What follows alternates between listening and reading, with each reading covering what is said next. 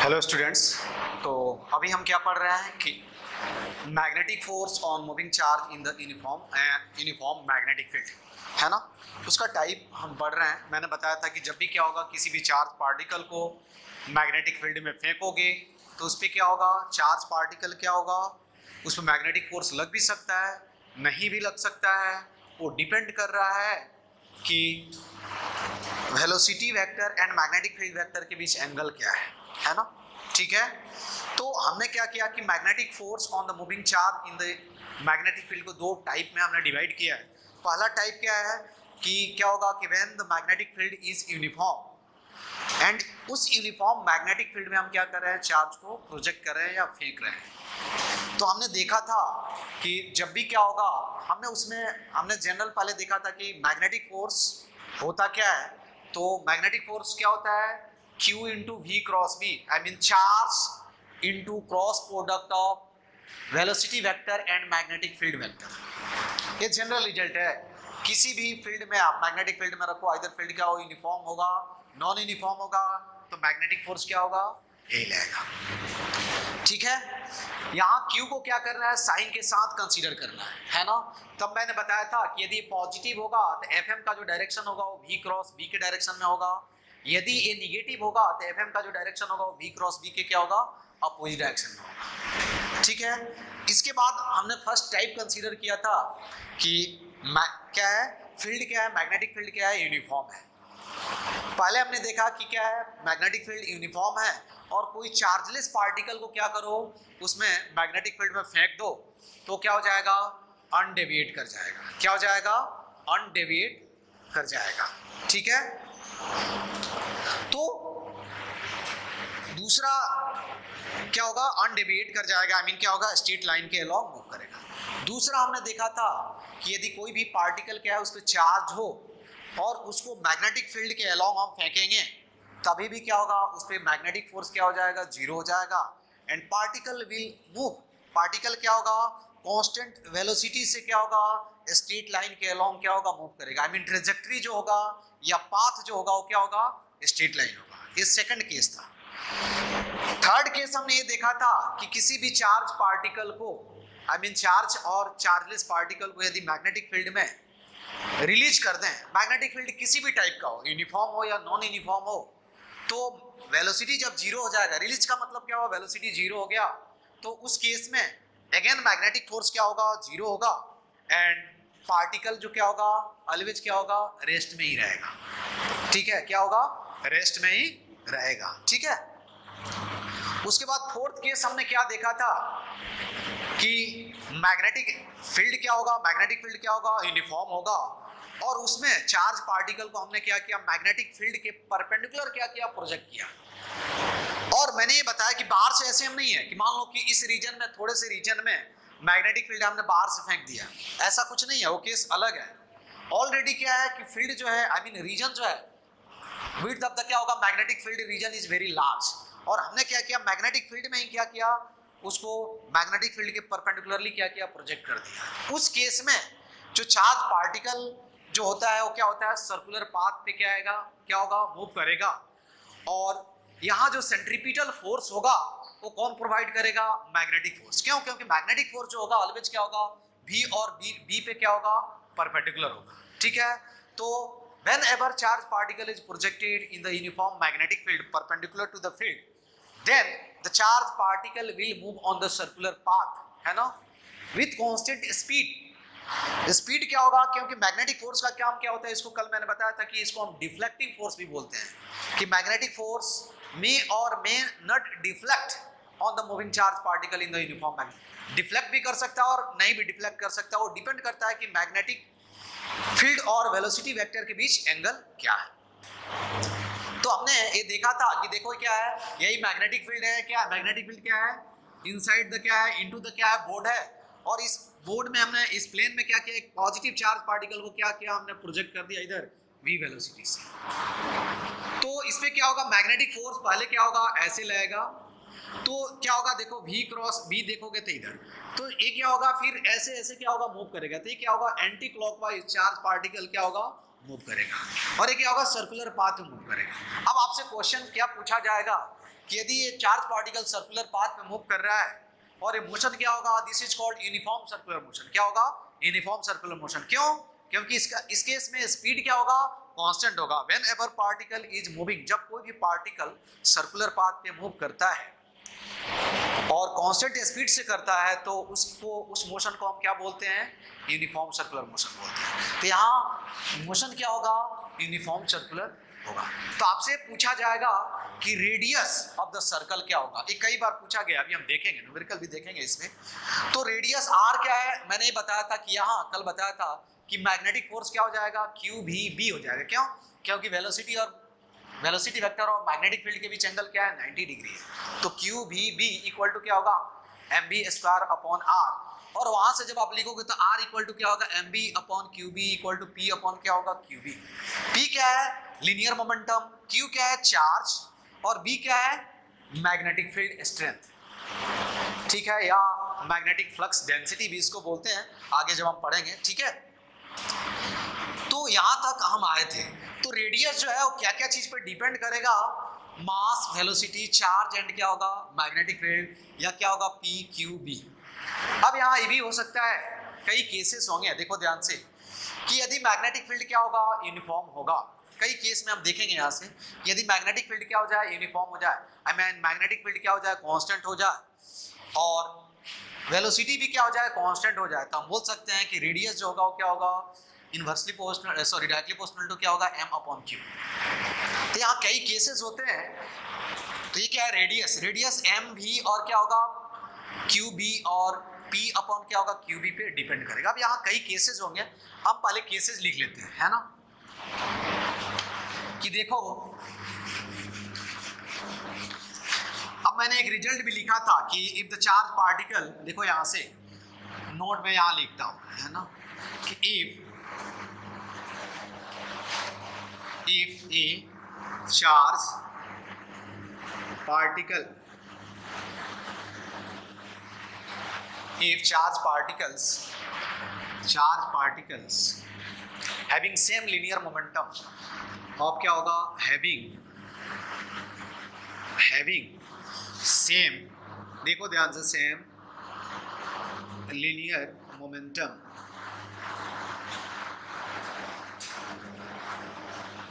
are projected are projected.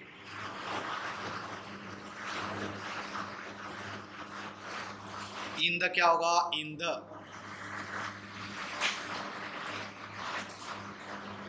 magnetic field in the same magnetic field क्या होगा? In the same magnetic field in the same magnetic field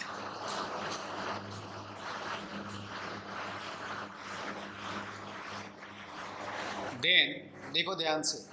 then, हम बोल सकते हैं are will be directly पोस्टल to क्या होगा? पहले तो हम बोल सकते हैं कि इन द सेम और डिफरेंट मैग्नेटिक फ़ील्ड ऐसे भी लिख सकते हैं यहाँ। In the different magnetic field in the different different magnetic field then R will be directly postal to क्या होगा? इनवर्सली पोस्टल टू क्या होगा? क्यू इनटू क्या हो जाएगा? आई I मीन mean क्या होगा? प्रोडक्ट अब जैसे आपसे मैं बोलूँ कि क्या है यहाँ? आर विल बी क्या होगा? डायरेक्टली पोर्शनल टू क्या होगा? R will be directly inversely proportional to क्या होगा? क्यू इनटू बी या हमने क्या किया? पी को क्या किया? कांस्टेंट कंसीडर क्या है? पी को कांस्टेंट तो यहाँ ग्रेटर द वैल्यू अब क्या होगा? क्यू इनटू बी क्या होगा? Smaller will be the radius of curvature and vice versa इसको कर्वेचर भी बोलते हैं रेडियस ऑफ़ कर्वेचर भी बोलते हैं। तो एक चीज़ यहाँ, अब यहाँ लिखना है इफ़ यहाँ क्या लिखना है? नोट में हम लिख दें कि नोट में हम लिख दें कि क्या है? इफ़ क्या होगा? इफ़ पी इज़ क्या होगा? कांस्टेंट है ना? एंड क्या होगा? बी इज़ कांस्टेंट ठीक है? तो यहाँ लिखते हैं आर विल भी क्या होगा? इनवर्सली प्रोपोर्शनल टू क्या होगा? ठीक है? क्या होगा? R will be inversely proportional to क्या होगा? One upon Q greater the charge है ना? स्मॉलर विल बी द क्या होगा? Radius of curvature and vice versa क्या होगा? स्मॉलर विल बी द क्या होगा? Radius of curvature and vice versa उसके बाद सेकंड केस देखोगे। इफ़ द चार्ज पार्टिकल तो ये क्या होगा? यदि मोमेंटम के टर्म में दिया होगा तो ये रिज़ल्ट हम यूज़ करें। दूसरा केस यहाँ देखो। आई मीन सेकंड पॉइंट देख लो कि द चार्ज पार्टिकल जो कल मैंने बताया था, कि if charge particle particle charge particles having क्या होगा? Having same kinetic energy same kinetic kinetic energy is projected projected normal to the क्या होगा normal to this to the magnetic field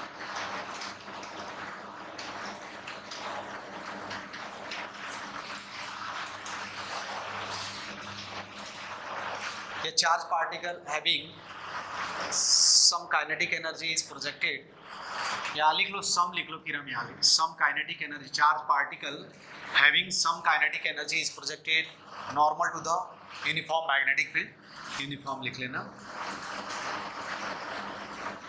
तो देखो यहाँ क्या होगा आर आर इक्वल टू क्या होगा देम आर इक्वल टू क्या होगा रेडियस इक्वल टू देखो एम भी अपॉन क्या होगा Q B equal to P upon क्या होगा क्यू बी और मैंने बताया था कि काइनेटिक एनर्जी देखो एक इक्वेशन नहीं हो गया। मैंने बताया था कि काइनेटिक एनर्जी इक्वल टू क्या होता है? पी स्क्वायर अपॉन क्या होगा? टू एम तो पी इक्वल टू क्या होगा? Square root of two M क्या होगा? के ई यही होगा ना? या वैल्यू रख दो। तो आर विल भी क्या होगा?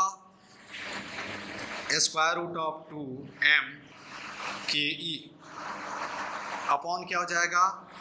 क्यू स्क्वायर क्या होगा? बी स्क्वायर तो देखो यहाँ से तुम देख सकते हो कि इफ़ क्या होगा? If kinetic energy and magnetic field same हो जाए इस केस में। क्या हो जाएगा? इफ़ काइनेटिक एनर्जी इफ़ क्या होगा? अगेन इस केस में हम नोट में लिखेंगे कि काइनेटिक एनर्जी क्या होगा? कांस्टेंट हो जाए, है ना? और बी क्या हो जाए? कांस्टेंट हो जाए। समझ में आया? क्या होगा? काइनेटिक एनर्जी कांस्टेंट हो जाए। और बी भी क्या हो जाए कांस्टेंट हो जाए तो हम बोल सकते हैं कि radius will be directly proportional to क्या होगा? एम अपॉन क्या हो जाएगा? अब यदि मान लो कि पार्टिकल चार्ज पार्टिकल क्या है? चार्ज पार्टिकल क्या है?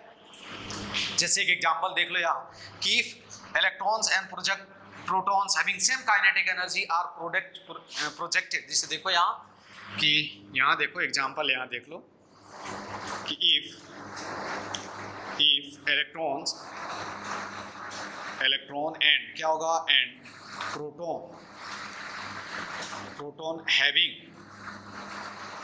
having same kinetic energy same काइनेटिक energies are projected projected normal to the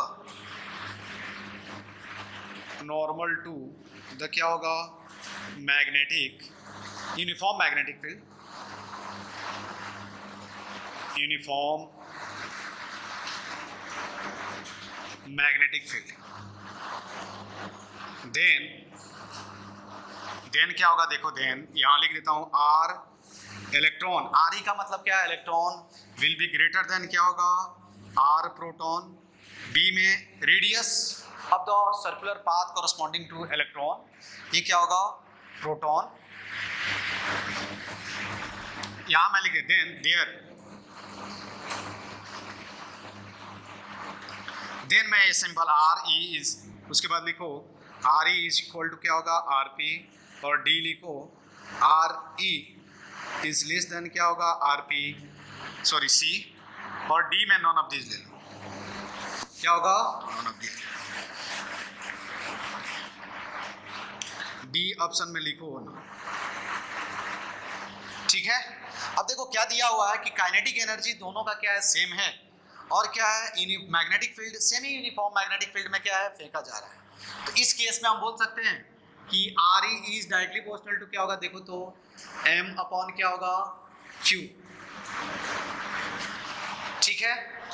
तो हम बोल सकते हैं कि चार्ज क्या होगा? फॉर क्या होगा? For for electron for E and E minus equal to क्या होगा? सेम होगा। तो हम बोल सकते हैं I mean charge E plus का मतलब क्या हुआ? Charge of proton E minus का मतलब क्या हुआ? चार्ज ऑफ़ इलेक्ट्रॉन तो हम बोल सकते हैं R is directly proportional to क्या होगा? मास तो आपको भी मालूम है कि हम जानते हैं कि आर ई अपॉन क्या होगा? R P I mean radius corresponding to proton and R क्या है? Radius of the orbit corresponding to क्या होगा? इलेक्ट्रॉन इज़ इक्वल टू क्या होगा? एम ई अपॉन क्या होगा? एम पी और दिस विल भी क्या होगा? लेस देन वन तो हम बोल सकते हैं कि आर ई विल भी क्या होगा? लेस देन क्या होगा? ये बात आपको समझ में आया? कि जब भी क्या होगा? If if the charge part more than one charge particles को जिन सभी चार्ज पार्टिकल के क्या हो? काइनेटिक एनर्जी सेम हो. और उसको सेम ही मैग्नेटिक फ़ील्ड में हम क्या करें? फेंक दें। उस केस में उनका जो रेडियस ऑफ़ कर्वेचर होगा, क्योंकि सभी जो पार्टिकल्स होंगे, वो क्या होंगे? डिफरेंट डिफरेंट सर्कल पे क्या होंगे? मूव करेंगे मैग्नेटिक फ़ील्ड तो उन सभी सर्कल का जो आई मीन रेडियस जो होता, होगा सर्कल का, वो क्या होगा? R will be directly proportional to क्या होगा? Square root of M upon क्या होगा? क्यू अब यदि चार सेम हो जाए तो जब चार सेम हो जाएगा तो हम बोल सकते हैं R will be directly proportional to क्या होगा? स्क्वायर रूट ऑफ़ क्या होगा? मास यदि अल्फ़ा पार्टिकल यहाँ होता, यहाँ हम एक और क्वेश्चन लिख सकते हैं। If electron proton and alpha particle है ना? क्या लिखेंगे? इफ़ इलेक्ट्रॉन प्रोटॉन एंड क्या होगा? अल्फ़ा पार्टिकल हैविंग द क्या होगा? सेम काइनेटिक एनर्जी है ना? ये आईआईटी क्या है? ट्वेंटी आईआईटी में आया हुआ क्वेश्चन है। दूसरा क्वेश्चन देख लो। यहाँ एक बता देता हूँ। ये जेई का आया हुआ क्वेश्चन भी है। तो इसमें कौन सा आंसर होगा? आरपी जो होगा वो क्या होगा? ग्रेटर देन क्या होगा? आर दूसरा एक जेई का एक एग्जांपल देख लो इसमें, कि इफ़ दिया हुआ है कि ये प्रोटॉन ड्यूटेरॉन है ना? ये प्रोटॉन देखो क्या है a proton deuteron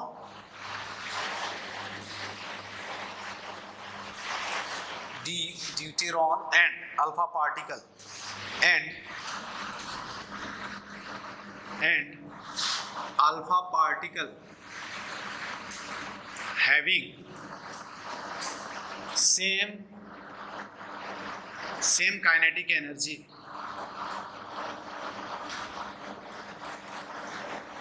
kinetic energies are projected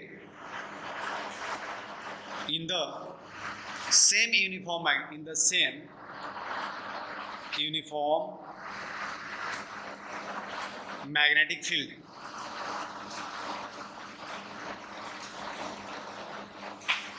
normal to the field normal to the field ठीक है if R P R D देखो if R P comma R D and R alpha R R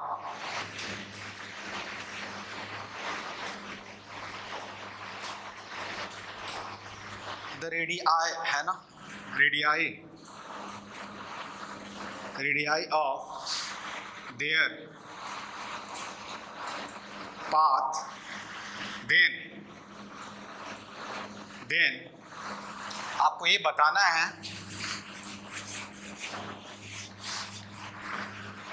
then option देखो क्या क्या दिया। है then सोचना है आर अल्फ़ा इक्वल टू क्या होगा? R alpha sorry R P equal to R alpha equal to R P R alpha is less than R D second जो ऑप्शन दिया हुआ है, उसमें R alpha is greater than R D is greater than क्या होगा? R P और third जो option दिया हुआ है, वो दिया हुआ है R alpha R alpha equal to R P is greater than क्या होगा? आर डी एंड डी जो ऑप्शन दिया हुआ है ये दिया हुआ है। R alpha equal to R P equal to R T ये आर टी का है वहाँ पर। भाई, बहुत पॉइंट है इसी में। ठीक है? ये तुमको ऐड अब देखो क्या है। पहले तो हम लिखते हैं सॉल्यूशन में। आप खुद से भी ट्राई कर सकते हो इसको कि R इज़ इक्वल टू क्या है? पहले लिख देता हूँ, देखो एम वी अपॉन क्या होगा? Q B is equal to क्या होगा? P अपॉन क्या होगा? Q. B इसको लिख सकते हैं स्क्वायर रूट ऑफ़ क्या लिख सकते हैं? टू के टू एम क्या लिख सकते हैं? एम के ई अपॉन क्या होगा? Q इंटू बी अब देखो यहाँ से हम लिख सकते हैं, क्योंकि काइनेटिक एनर्जी क्या है? काइनेटिक एनर्जी क्या हुआ? कांस्टेंट हो गया। सभी के लिए सेम है। मैग्नेटिक फ़ील्ड भी क्या हो गया? कांस्टेंट हो गया। तो हम बोल सकते हैं कि R will be directly proportional to क्या डायरेक्टली प्रोपोर्शनल टू क्या होगा? Square root of m upon क्या होगा? Q. क्या होगा? Square root of m upon क्या हो जाएगा? अब तुमको ये मालूम होना चाहिए कि प्रोटॉन पे कितना चार्ज होता है ड्यूटेरॉन पे चार्ज कितना होता है, और अल्फ़ा पार्टिकल पे क्या चार्ज होता है, और मास का रिलेशन तो ये आपको याद कर जाना चाहिए, नहीं तो आपको शायद केमिस्ट्री पढ़े होंगे तो याद भी होगा। तो ये मैं बताता हूँ तो ये आपको ध्यान देना है। ठीक है? अब हम आते हैं, लिखते हैं। देखो क्या है कि यदि मैं मान लू लेट चार्ज ऑफ़ क्या होगा? प्रोटॉन आई मीन मैं लिख रहा हूँ क्यू पी यहाँ लिख देता हूँ इज़ इक्वल टू क्या होगा? क्यू मैंने मान लिया ऐसे। तो चार्ज ऑफ़ क्या होगा? Deuteron Q D equal to क्या होगा? Q D is equal to क्या होगा? Sorry same charge of deuteron भी क्या होगा? इज़ इक्वल टू क्या होगा? चार्ज ऑफ़ प्रोटॉन ठीक है? अब हम आते हैं क्या? कि यदि चार्ज ऑफ़ क्या होगा? Alpha particle alpha particle Q alpha लिख रहा हूँ तो यहाँ क्या होगा? टू टाइम्स चार्ज ठीक है? तो charge Q P Q D same हो गया। क्यू अल्फ़ा जो होगा, वो क्या होगा? Two times of charge of क्या होगा? प्रोटॉन होगा। ये पॉइंट फ़र्स्ट है ये तुमको क्या करना है? याद कर जाना है। है ना? क्या करना है? याद कर जाना है। तो इधर मैं लिख देता हूँ। देखो, यहाँ मैं लिख देता हूँ कि Q Q alpha is equal to क्या होगा? टू टाइम्स क्यू ऑफ़ क्या हो जाएगा? Q D is equal to क्या होगा? टू टाइम क्यू अब क्या होगा? प्रोटॉन ये याद कर जाना, रट जाना तुम लोग, है ना? ठीक है? ये इम्पोर्टेंट है।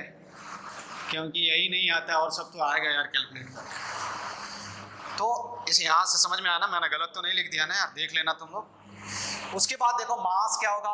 मास ऑफ़ प्रोटॉन यदि मैं क्या हूँ? मास ऑफ़ प्रोटॉन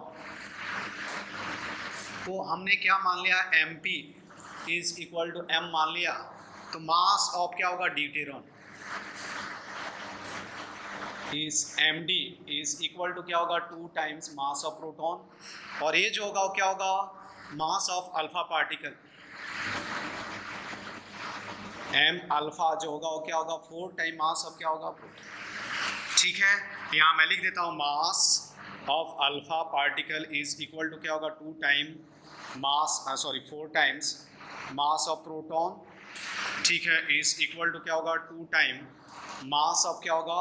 ड्यूट ये याद बस हो गया, और तो उसके बाद तुम खुद से भी सॉल्व कर सकते हो। यही, ये था। ठीक है? अब हम क्या करें? रेशियो निकाल लें यार, फिर अपने को मालूम चल जाएगा। ये समझ में आया? ये आपको क्या करना है ये इम्पोर्टेंट है, यही आना चाहिए। अब हम आते हैं यहाँ, है ना? अब हम लिखेंगे, क्या लिखेंगे? चलो Q अल्फ़ा और Q प्रोटॉन देख लेते हैं यार।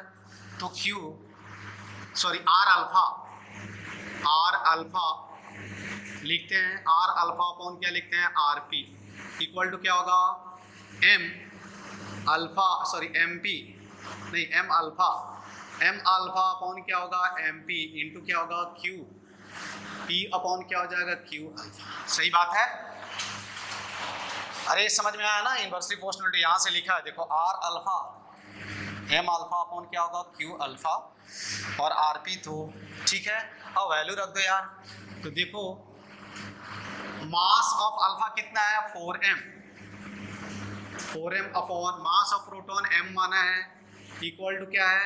चार्ज ऑफ़ प्रोटॉन हमने क्यू माना तो चार्ज ऑफ़ क्या है? अल्फ़ा क्या है? टू क्यू है।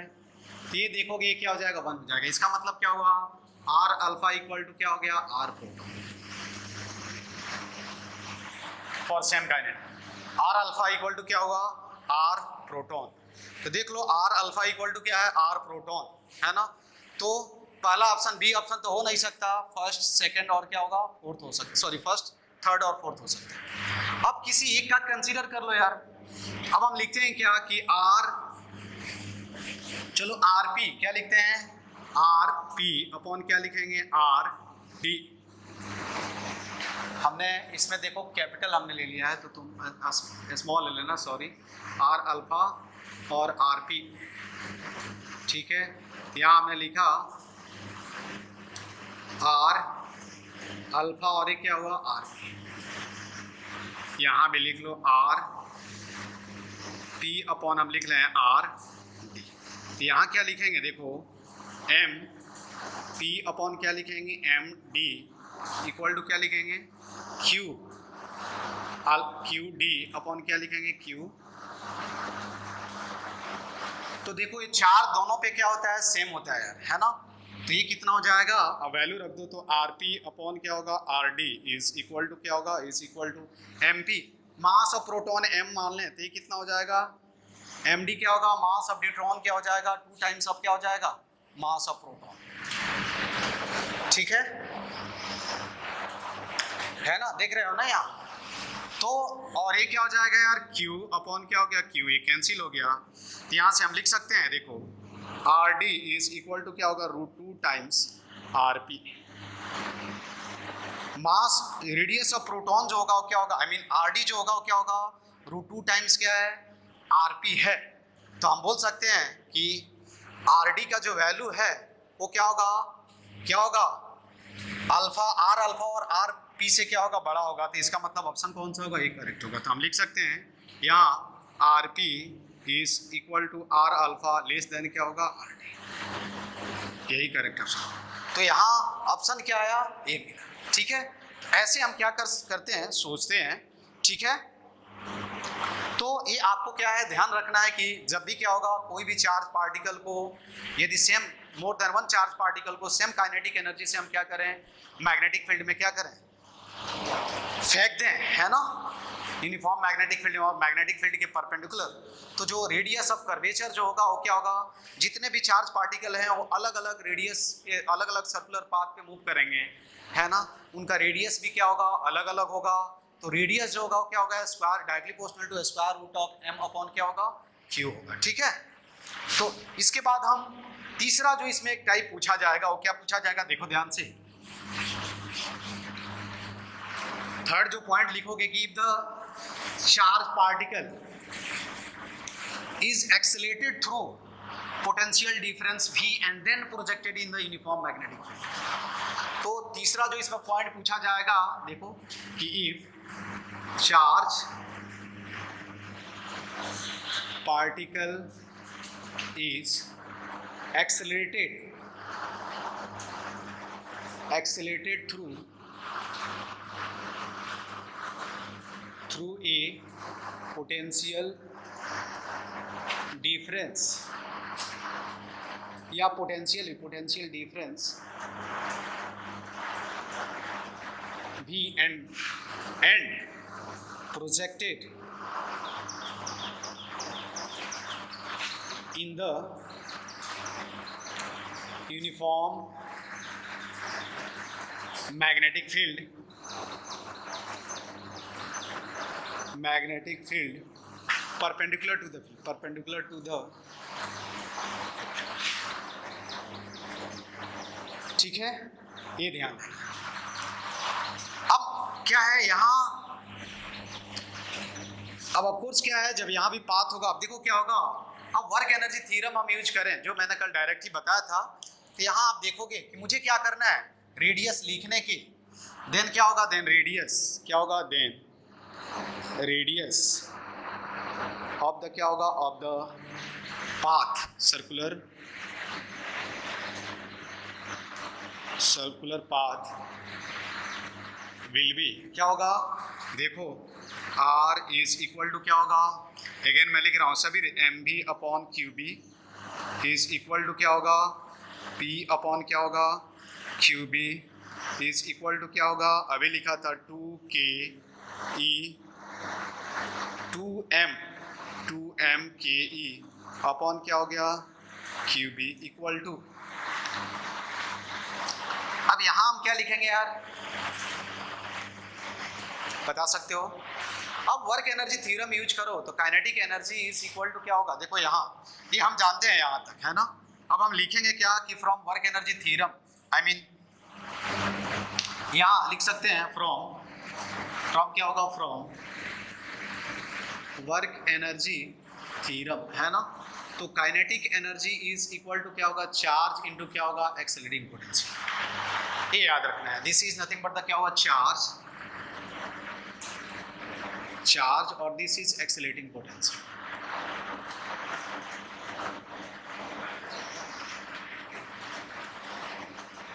Accelerating potential ठीक है?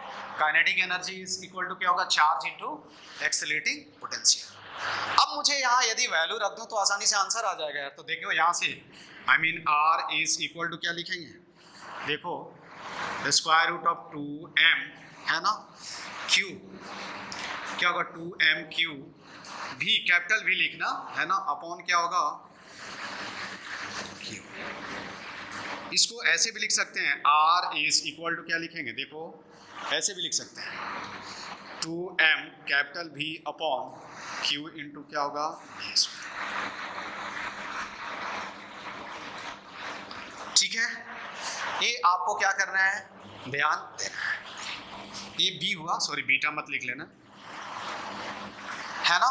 तो यहाँ रेडियस जो होगा, वो क्या होगा? हम बोल सकते हैं कि यदि मैग्नेटिक फ़ील्ड क्या होगा? यूनिसेम होगा। तो हम बोल सकते हैं, यदि मैग्नेटिक फ़ील्ड और भी ये क्या हुआ?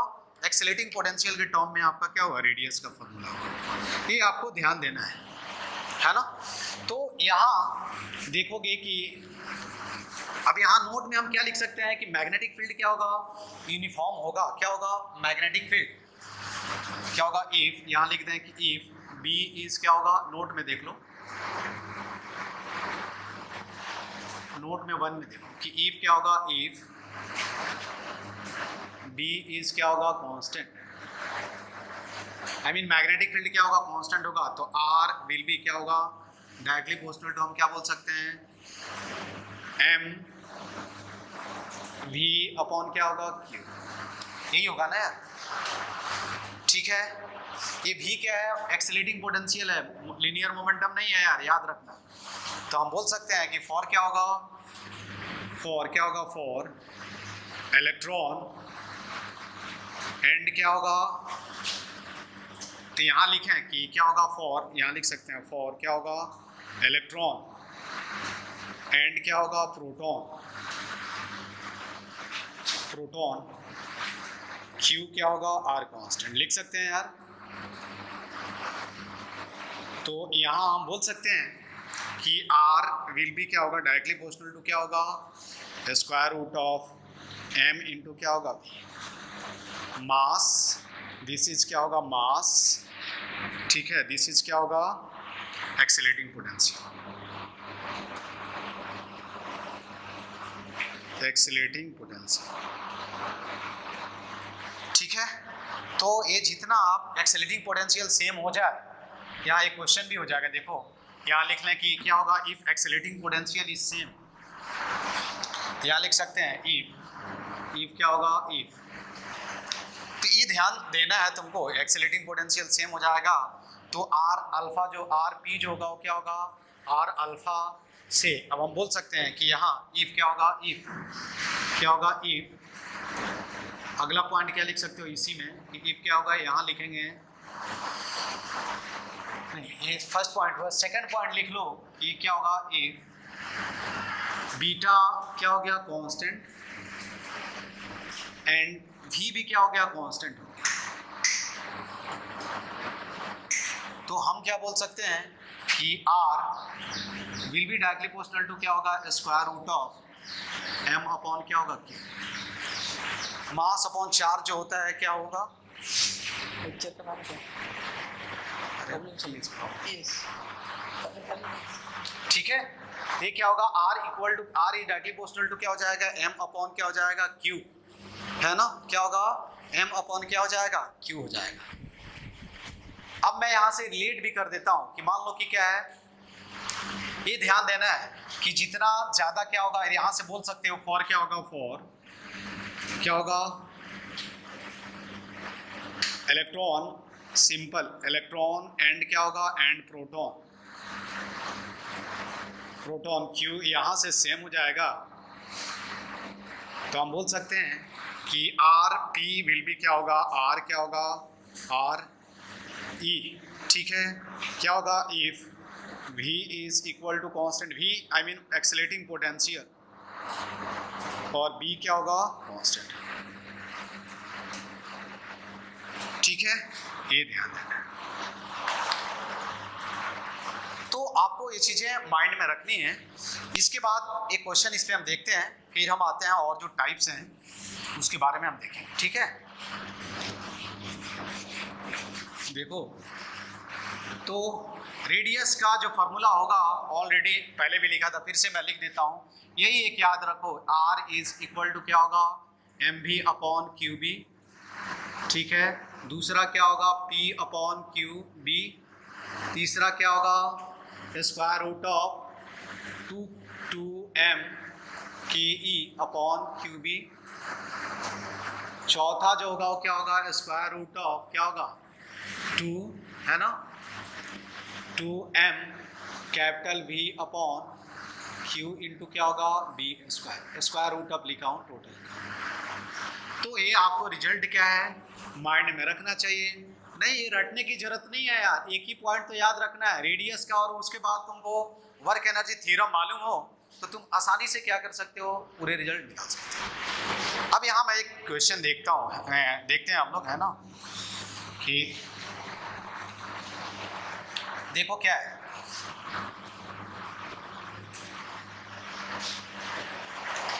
कि क्या है प्रोटॉन देखो अभी जो क्वेश्चन हम देखें, ये प्रोटॉन ये proton a deuteron and an alpha particle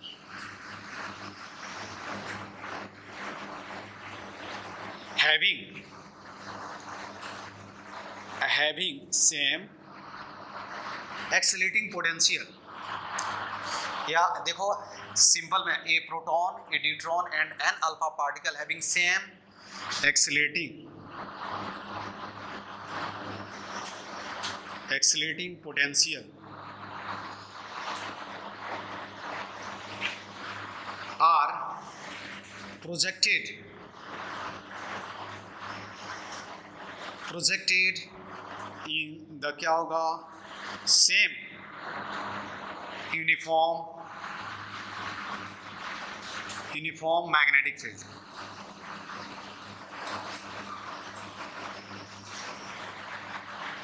normal to the field normal to the क्या होगा? ठीक है? इफ़ अगेन लिखता हूँ r alpha r r p r d and r alpha r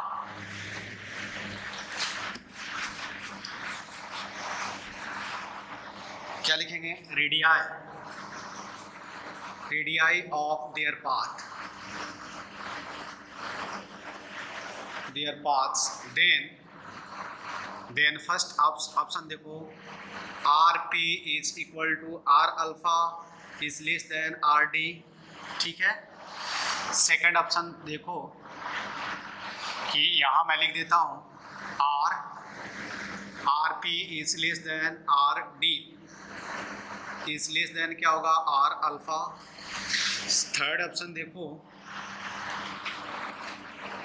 कि आर पी या आर पी लिखना?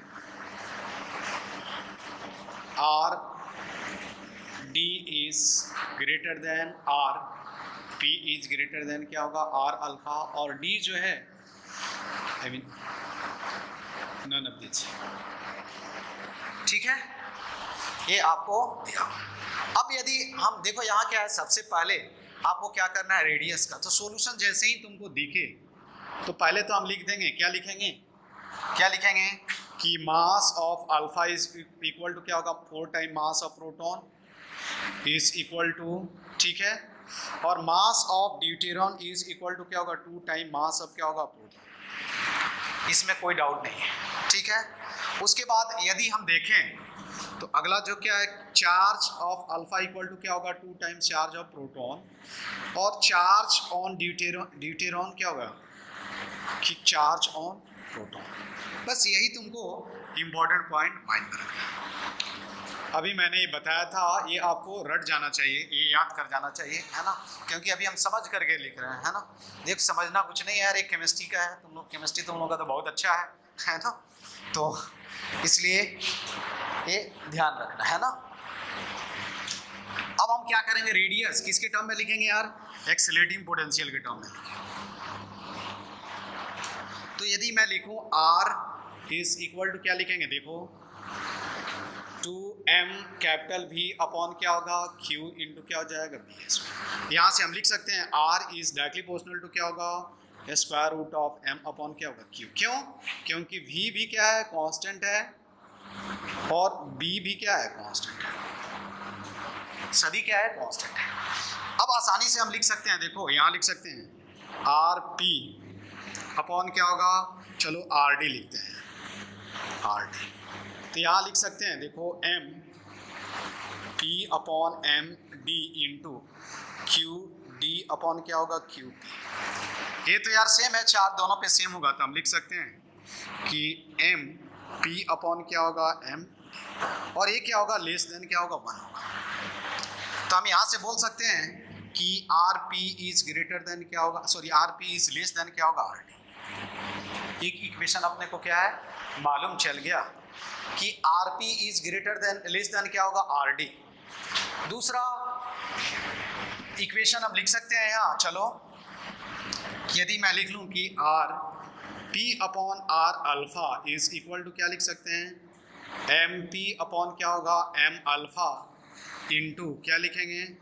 Q alpha upon क्या होगा? क्यू पी यही लिखेंगे यार। सही है? कोई डाउट नहीं है ना? और वैल्यू रख दो। तो जब वैल्यू रखोगे तो ये कितना होगा? एम पी अपॉन क्या लिखेंगे? Four m p into two q p upon क्या लिखेंगे? क्यू ये q p q p cancel हो जाएगा। तो यहाँ देखो आर पी अपॉन क्या होगा? R alpha is equal to क्या होगा? हमने, मुझे यहाँ एग्जैक्ट रिलेशन भी लिख लेना चाहिए। देखो यहाँ हम ऐसे करते हैं, रिज़ल्ट लिख लेते हैं एग्जैक्ट तो इससे पहले यहाँ हम क्या लिखेंगे?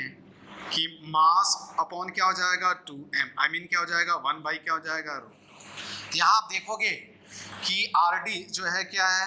रूट टू टाइम्स क्या है? आर पी है तो एग्जैक्ट रिलेशन मालूम चल जाएगा। यहाँ भी आप देखोगे कि ये क्या हुआ? वन अपॉन क्या हो जाएगा? रूट टू सही है? यहाँ हम बोल सकते हैं, क्या बोल सकते हैं कि r alpha r alpha is greater than क्या आएगा? रूट टू टाइम्स आर तो इससे मालूम चल जा रहा है कि आर क्या होगा? अल्फ़ा हम बोल सकते हैं कि आर अल्फ़ा इक्वल टू क्या होगा? R d is greater than क्या होगा? आर पी तो देखो, कोई ऑप्शन ऐसे लिख सकते हैं हम यहाँ, फिर उसके बाद तुम ऑप्शन चेक कर लेना, है ना?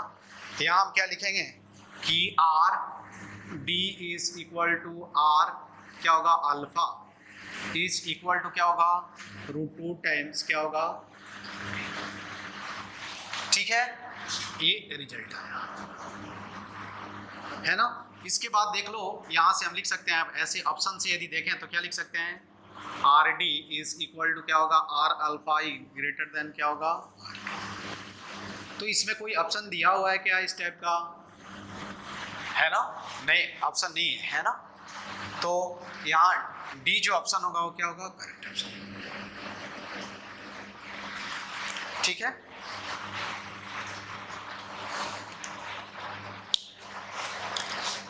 एक और, ये समझ में आया? तो मैग्नेटिक फ़ील्ड के परपेंडिकुलर जब हम फेंकते हैं तो क्या होता है? जो उसका पाथ जो होगा, वो क्या होगा? सर्कुलर होगा, है ना? और रेडियस जो होगा, वो डिफरेंट डिफरेंट फैक्टर पे क्या होता है? डिपेंड करता है और ऐसे हम क्या करते हैं, रेडियस को कैलकुलेट करते हैं, ठीक है? इससे न्यूमेरिकल्स आता है और तो अब आप, अब हम आते हैं, देखो, एक और सिंपल एग्जांपल मैं बता रहा हूँ। थ्री चार्ज पार्टिकल, देखो।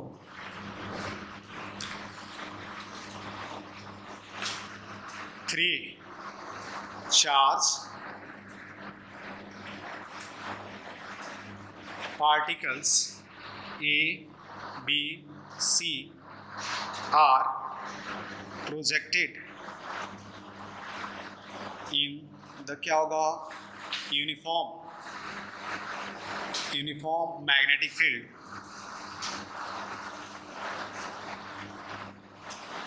magnetic field perpendicular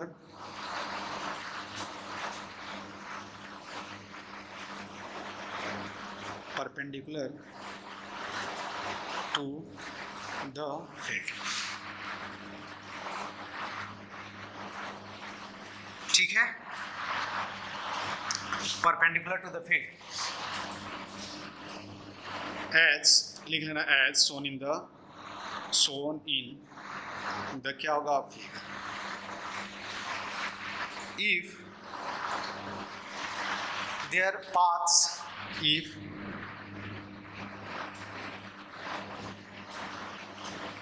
trajectory trajectories are a comma b and क्या होगा c sorry if their trajectories are their corresponding ऐसे लिख लेना corresponding trajectories are shown then find the nature of charge find the क्या होगा nature of charge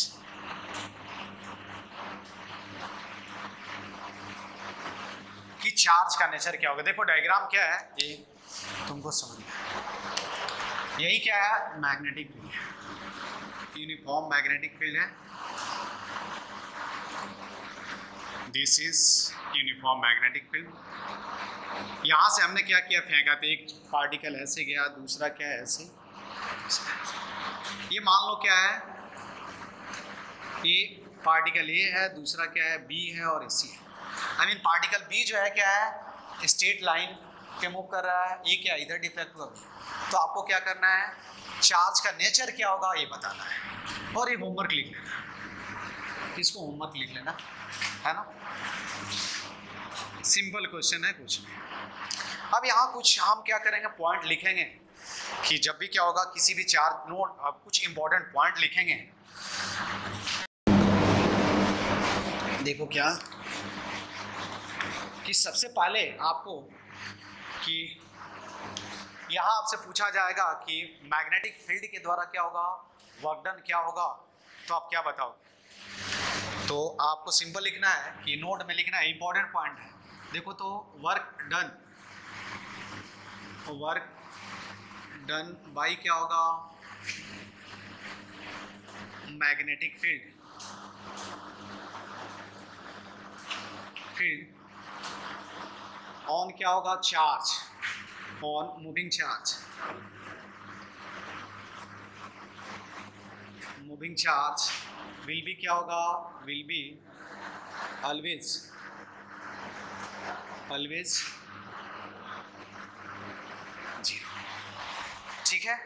ये ध्यान देना ऐसा क्यों होगा? आप बता सकते हो कि वर्क डन क्यों ज़ीरो होगा? एक तो देखो वर्क एनर्जी थ्योरम से भी सोच सकते हो।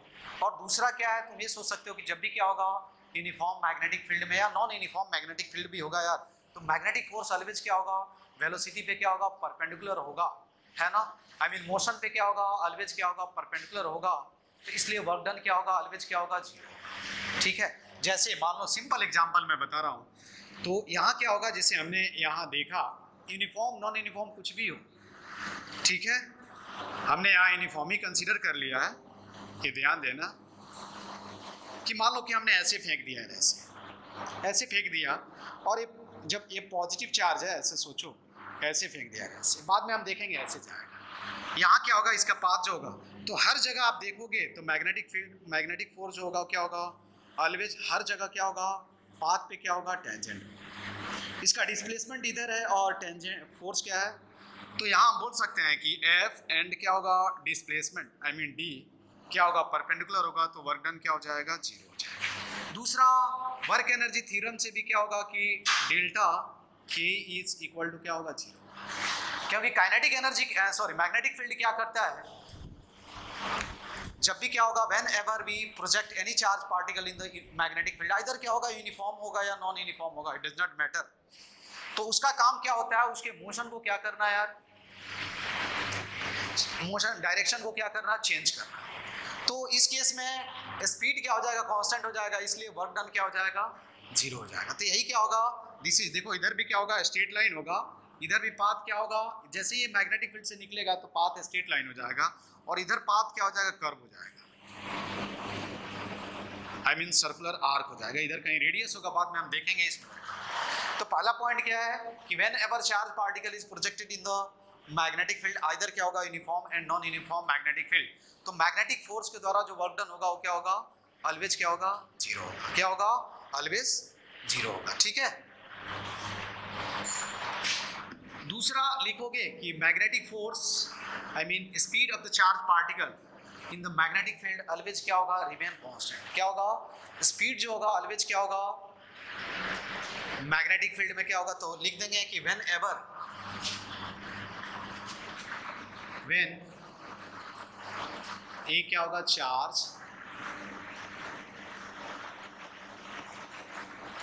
particle is projected. Projected in the क्या होगा? मैग्नेटिक फ़ील्ड मैग्नेटिक फ़ील्ड देखो, यहाँ मैं लिख देता हूँ नॉन यूनिफॉर्म और यूनिफॉर्म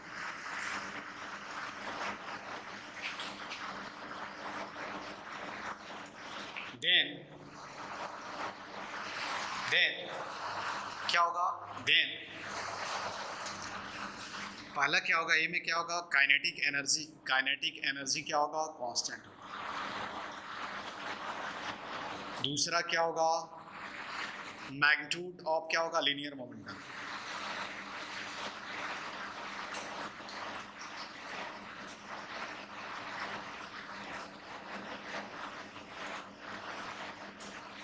ठीक है? समझ में आया ना? क्या होगा? यदि सी में हम क्या लिखेंगे? कि मैग्नीट्यूड ऑफ़ फोर्स क्या होगा? फोर्स नहीं कांस्टेंट होगा। ठीक है? मैग्नेटिक फोर्स कांस्टेंट नहीं होगा, क्योंकि डायरेक्शन क्या होगा? चेंज होगा। लेकिन डी में लिख सकते हैं, क्या होगा? मैग्नीट्यूड क्या होगा? कांस्टेंट हो सकता है। कब, जब क्या हो? बी कांस्टेंट और नहीं भी हो सकता है। कब? जब बी क्या हो? नट कांस्टेंट ठीक है? ये ध्यान देना है। उसके बाद आप एंगुलर मोमेंटम भी देख सकते हो, बहुत सही। कभी कभी पूछा जाता है। तो इस केस में क्या होगा? काइनेटिक एनर्जी कांस्टेंट होगा। लिनियर मोमेंटम का मैग्नीट्यूड कांस्टेंट होगा। लिनियर मोमेंटम कांस्टेंट नहीं होगा। वेलोसिटी उसके बाद एक और पॉइंट लिख लेना, जो इंपॉर्टेंट है, कि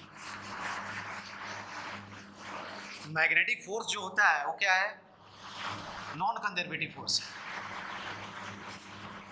Magnetic force is non conservative conservative force ठीक है? Hence magnetic potential magnetic potential is not defined not defined for charge moving in charge moving in magnetic field